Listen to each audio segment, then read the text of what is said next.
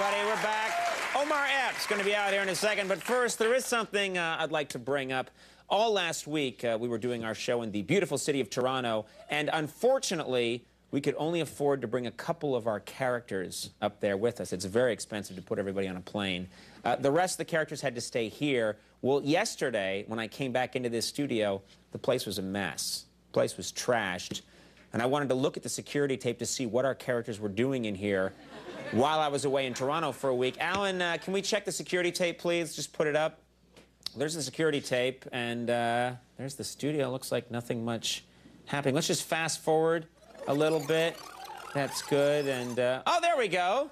Looks like some of our characters came in to play uh, poker. There's the coked up werewolf. There's little Jay Leno. There's the giant corn cob. There's the FedEx Pope. And there's the robot on the toilet. I guess there's no harm in that. They're just playing cards. Let's fast forward a little more and see how the card game goes. And uh, it, well, wait a minute. It looks like the robot on the toilet really cleaned up in the poker game. Other characters are not happy. Wow. Let's fast forward a little more. Always erratic when you're coked up. And, uh, hey, they're having a dance party. That's fun. Little dance party. Little Jay Leno's really going at it. Coked up werewolf. There's a giant uh, tape record tape of the Twins movie dancing. I don't know why that's there. FedEx Pope is getting dirty dancing with the corn cob. Um, why the hell is that Twins movie there? Let's go forward. Let's keep looking forward and, uh, and that's gross. Look at that.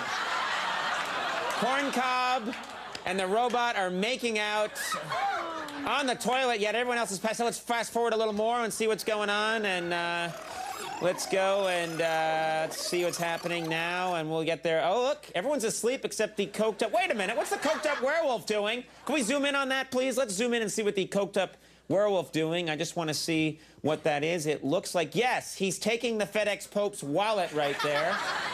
Probably for Coke. Let's just skip ahead here, see what else is going on. And, uh, oh, they've captured, they've captured the coked up werewolf and they're holding a kangaroo court, and it looks like little Jay Leno has come to a decision, and uh, this is amazing. Let's see what happens next. This is incredibly dramatic.